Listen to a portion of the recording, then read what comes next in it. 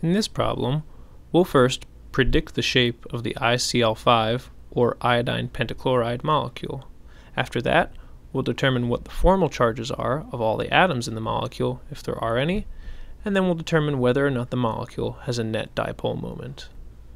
First, let's predict the shape of this molecule. In order to do so, we'll first need to make a Lewis dot structure, which requires us to know the number of valence electrons. For the iodine atom, we know that it is a halogen, and so it has 7 valence electrons.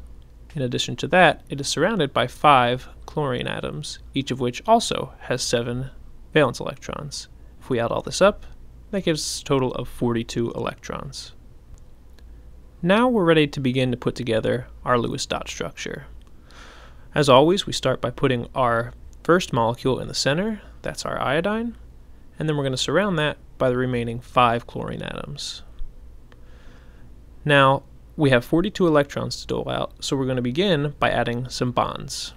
There's going to be one bond attached between the iodine and each of the chlorines, and each of those bonds gives us two electrons. Since there are five bonds, that's 10 electrons.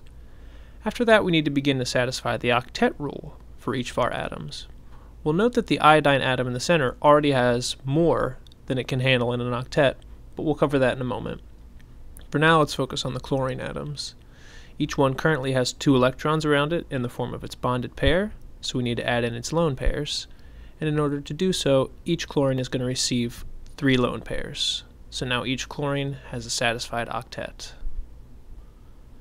So now we've got 10 electrons in our bonded pairs and 30 electrons from our lone pairs, which gives us a total of 40 electrons. However, we're supposed to have 42 valence electrons, so we need to find another place for those additional 2 electrons. There's no reason to add it to any of the chlorines since they're all equivalent and we don't want to expand any of their octets. But since iodine is a bigger molecule and we can already see that its octet is completely satisfied being expanded, we're going to throw that extra pair on there which gives us a total of 42 electrons and a satisfactory Lewis dot structure. Now that we have our Lewis dot structure, we can consider what the shape of the molecule will be. First, we need to consider the steric number of this molecule, which we know is defined as the number of bonding partners plus the number of lone pairs of our central atom. The iodine, as we can see, is bound to five different chlorine atoms, so it's got five binding partners, and additionally it has one lone pair that's attached to it, which gives us a total steric number of 6. Steric number can be used to predict what our orbital geometry will be, or where the positions of electrons are relative to the central atom. For a steric number of 6, our orbital geometry is octahedral. However, this problem asks us to predict the shape of the molecule, and when we talk about shape, we're talking about the molecular geometry, which considers only the placement of atoms relative to the central atom. So orbital geometry can help us, but it's not the final answer.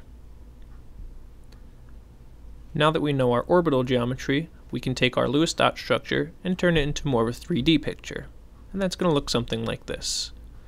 To show the 3D aspect of this, we're going to draw a little plane around these chlorine atoms in the center to show that they're all coplanar. So now we've got one iodine atom with four chlorine atoms all on the same plane. And then we have one chlorine atom poking straight up from that plane and one lone pair of electrons poking straight down. Now when we consider molecular geometry, we're no longer taking into account the position of the lone pair of electrons, so let's remove him. Now we can see that for each of the chlorine atoms, if we draw a dashed line to the top chlorine atom, we have what resembles a square pyramid. And as such, our molecular geometry is square pyramid. For step two, we're going to consider the formal charges of all the atoms in the ICl5 molecule. First off, we have to consider what a formal charge is.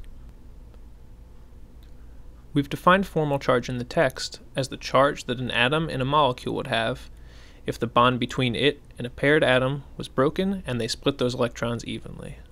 What that comes down to is that the formal charge equals the number of valence electrons that an atom would typically have on its own, minus the number of electrons that it has in lone pairs, minus half the number of electrons that it shares in bonding pairs. So we can sum that up with this little formula down here. Looking at our molecule, we'll note that there are two different types of atoms, the iodine and the chlorines. Let's focus first on the iodine.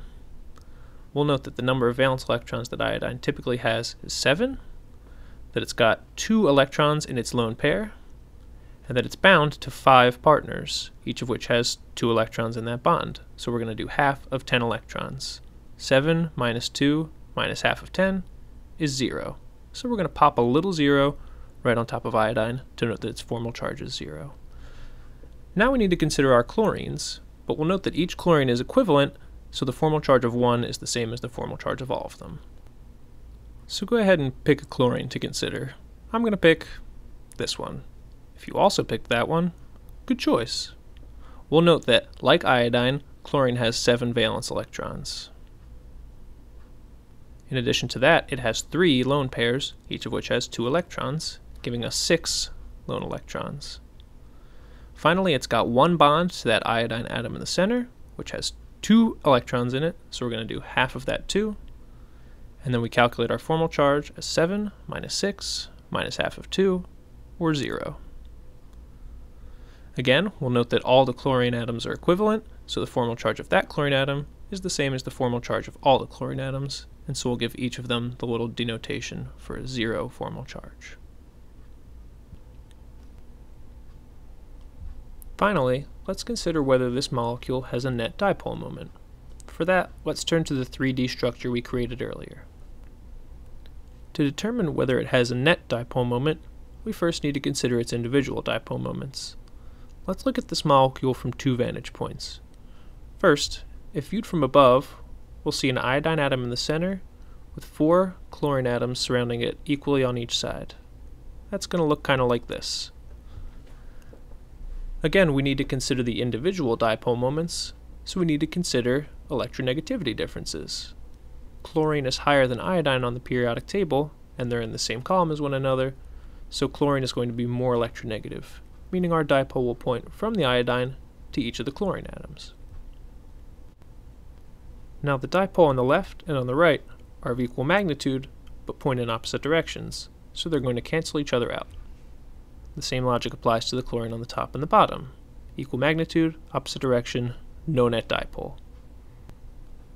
So when viewed from this perspective, this molecule does not have a net dipole moment.